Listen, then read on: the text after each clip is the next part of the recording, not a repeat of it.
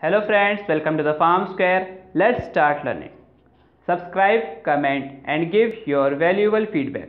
Today we discuss about the question paper of pharmacology of D Pharm second year annual examination 2020.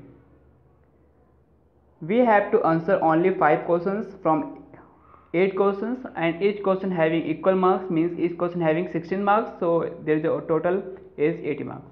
First question is discuss the various routes of drug administration and their advantages and disadvantages. Second is write a short note on any two means we have to answer any two questions. First is factor affecting drug absorption, general mechanism of drug action, anticholinergic drug, anti-Parkinsonian drugs. Third is classify antihypertensive drugs. Discuss the mechanism of action and side effect of beta blocker and ACE inhibitors.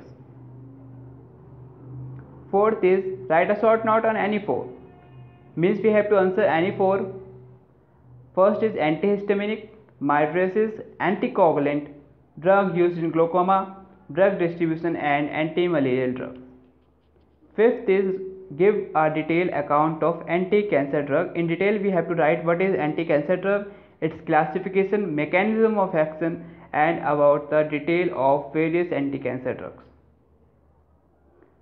Fifth, sixth is write a note on any two anti-inflammatory drugs, biotransformation, expectorant and antitussive.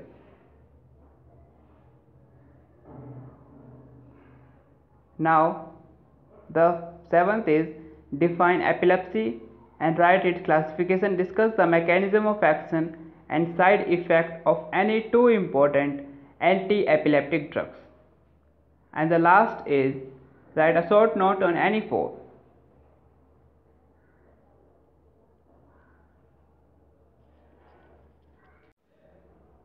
A is antifungal drugs, local anesthetics, classification of antidepressant drugs, antiarrhythmic drugs, hematinics and anti-gout drugs. So you have to answer any four from these. And if you have any query, doubt, please write it in the comment box. Thank you for today.